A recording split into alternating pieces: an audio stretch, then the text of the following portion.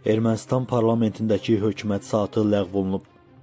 Kaim.az xəbər verir ki, bu barədə baş nazir Nikol Paşinyanın liderlik etdiyi Mənim addımım funksiyasının rəhbəri Lilit Makuns bildirib. Qeyd olunub ki, son zamanlarda baş nazir və nazirlər çox böyük bir iş yükünə sahibdirlər. Buna görə Mənim addımım fraksiyasından olan deputatların da əksəriyyəti parlament salonuna gəlməyəcək.